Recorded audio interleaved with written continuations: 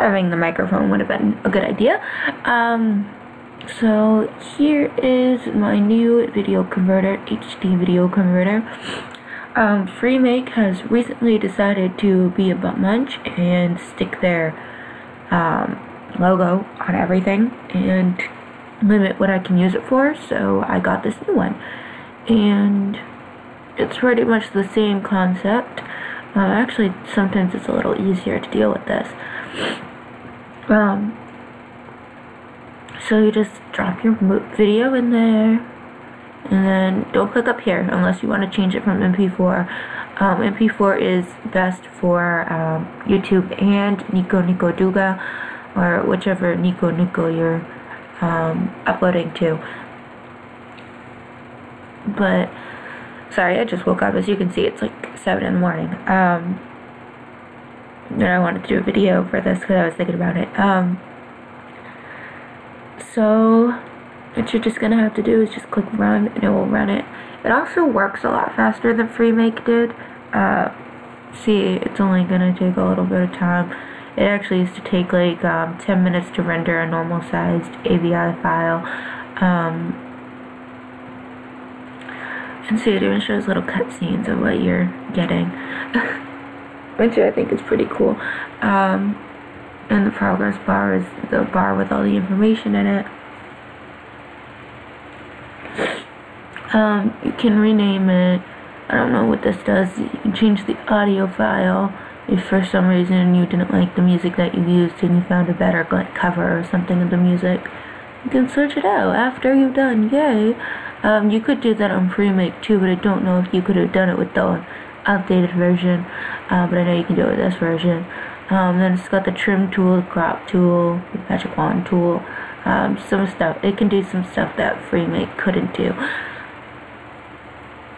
Uh, I'm sorry. I, I have really bad allergies right now too. My mouth hurts from uh, just.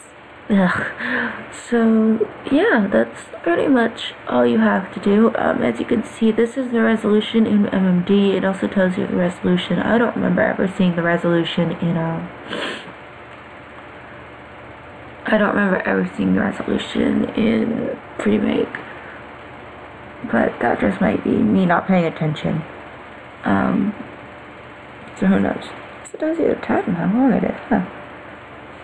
I wasn't even paying attention to anything that's going on on this thing.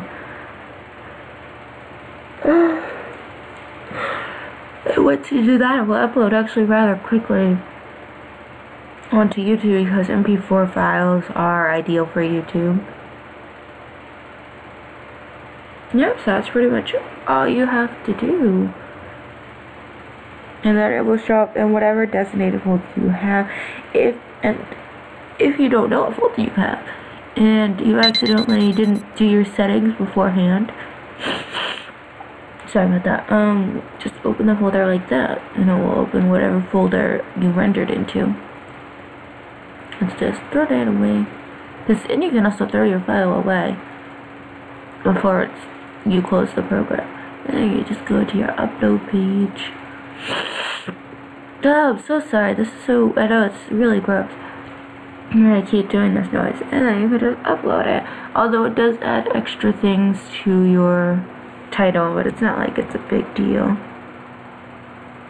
Alright, alright, that's not a big deal for you guys to just delete it. If some of you don't even name your titles. You just put like video render or something like that.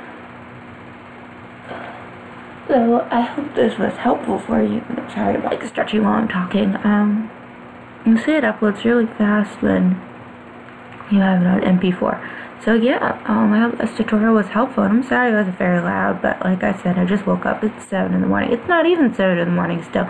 Oh my goodness. Okay, yeah, bye.